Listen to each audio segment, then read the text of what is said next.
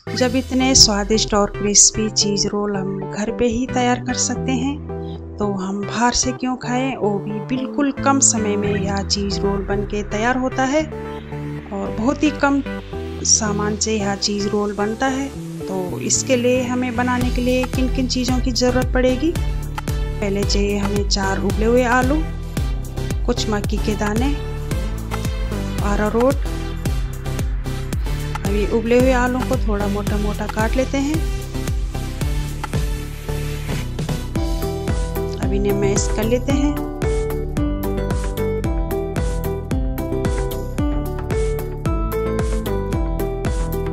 अब आलू हमारे मैश हो चुके हैं। अब इसमें अरारोट मिला देते हैं। और ये मक्की के दाने थोड़ा मैंने मिक्सी में दरदरा पीस लिया था। थोड़ा अजवाइन, काली मिर्च और थोड़ा सफ़ेद तिल भी मैंने इसमें ऐड कर रखे हैं। अब इसका एक अच्छा सा डो तैयार करते हैं।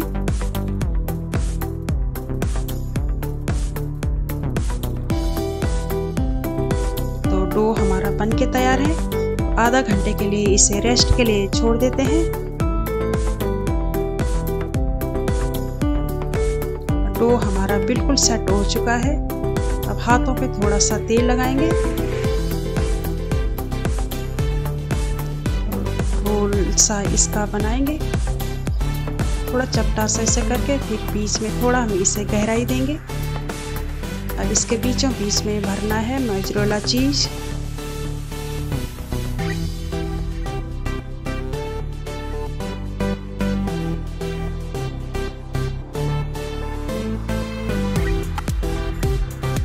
अच्छी तरह से हमें सील करना है, ताकि गर्म तेल में जब भी यह रोल जाएगा तो फिर चीज़ पिघल के ना आएगा। इसमें रखे मैंने ब्रेड क्रैब्स और इसमें थोड़ा इसकी कोटिंग कर लेते हैं। चम्मच की सहायता से भी आप मजरेला चीज़ भर सकते हैं।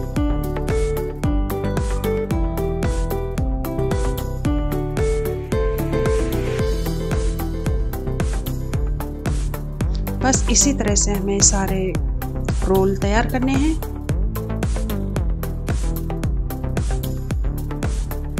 अभी सारे रोल हमारे बन चुके हैं। इधर रखते हैं कढ़ाई में तेल गरम करना। तेल भी हमारा गरम हो चुका है। अब एक एक करके सारे रोल इसमें डिप कर देते हैं।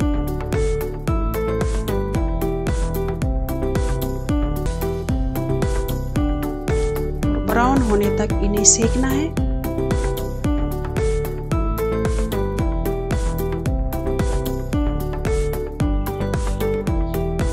सिक्के हमारे तैयार हो चुके हैं, इन्हें निकाल देते हैं।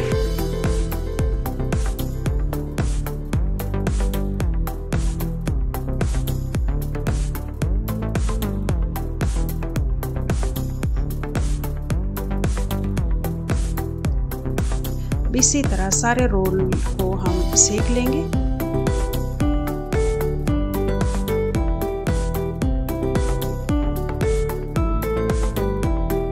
सारे रोल हमारे बन चुके हैं। और बहुत ही स्वादिष्ट और बहुत ही अच्छे बन के तैयार हुए हैं।